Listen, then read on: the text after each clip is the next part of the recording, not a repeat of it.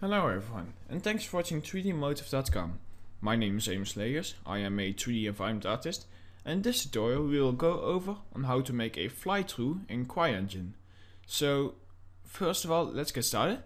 So, what you want to do is you want to go to View, Open View Plane, and then you want to go down until you'll find Track View. So select this, then you will get this little window over here. So in my case it's pretty big, but we'll just leave it like that. Now to set things up, what you want to do is, first of all you want to go to the position where you want to start recording. For example, over here. Then you want to go to create camera from current view. You want to select the camera by going to camera and in my case this is camera 2 for our current view. And then you want to go to the top again and then select current camera. Once you've done that, you want to go to track view, make a new sequence, let's call it fly through. Press OK. Okay. In this case I already it's already exists, so just fly through one. Just give it any name you want. Press OK. Then press your right mouse button and add selected entity. This will select our camera to this entity. So what we want to do now is you want to press this little icon over here. It's called edit sequence. And then we want to set the time. And because we are recording a video and not for example a special animation, we can set the time to something big like 500. Something like that. And press OK. Now if we see and we scroll down we can see that it has a lot of time to it.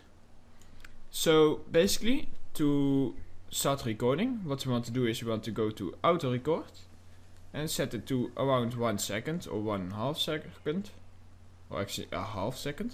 So in this case just set it to one second because basically what we are going to do is with this on it will um, capture a frame every one second of the position and the rotation of the camera so basically later on, when we start flying, it will capture a frame every second and then we can just smooth those frames to make everything look nice and smooth. So let's just start recording. So first of all, make sure that your speed is not too high. So I want to set mine to something like 0.05. Something like that will be good. Or actually, let's make it 0.6 because I don't want to spend too much of time because it's a pretty big level. And then all we need to do is, well, actually, when you have camera 2, make sure that lock camera movement is not on. In my case it is not on, but sometimes it can be on, so just uncheck it.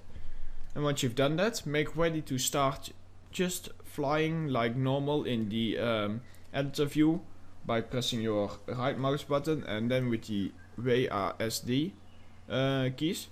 So then you want to just press auto record and you want to just start flying. So I can already see that my speed is a bit too um, fast, but that doesn't matter so much because this is just a for the tutorial. But I would uh, suggest to get the perfect speed for your um, fly through. So nice and slow so you can see a lot of detail. So what is also nice is for example when you get to a focal point like this chicken to just stand still and to just look around because then with, with the smoothness to it later on it will uh, give a nice effect of of the camera standing still looking around very smooth and then going on with its business so I'm not going to record too much so just stand still look a bit around record a bit more. Maybe going through the water, maybe even under the water if you want. Oops, that's a bit underground, but you get the point. And then we will uh, stop with this nice um, So then what you want to do is you want to press uh, select, let me mute my, the audio so you can hear me better. So you want to just press the record button again to stop recording. And now if we control the slider, you can see that it is um, it actually recorded everything. So if we would play this now by pressing the play button over here, you would see that it is very shocky and really doesn't look any look good. So basically what you want to do is you want to drag up the track view, then you want to go to um, view and check the curve editor. So we have this. And basically in the position so here we have the x y and z position. And we have our rotation the x y and z rotation. So if we go to position and we want to select everything like this and then we just want to press this little button called set in out tangents to auto click it. And do the same for rotation. Rotation is the most important one because we want to have a smooth rotation. And click it.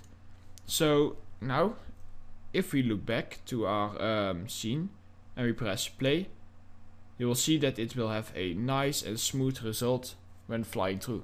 Of course you can see that I'm going a bit too fast and then you will see that the detail will have some trouble showing up. But basically now we have this nice fly through so if we would low down of course maybe we can set the speed to 2 so you can just see that it captured everything. So here we stand still. We look at the chickens. And then we can go on again. And like this you can record an entire you can even record cutscenes with this or whatever you want but in this case it's just for a fly through so now you've done this. Basically what you want to do is you want to hide all the um, screens and the roller bars and um, if you have a second screen then that's very handy because then you can set the track view to the second screen. If not you can just uh, lower it down like this.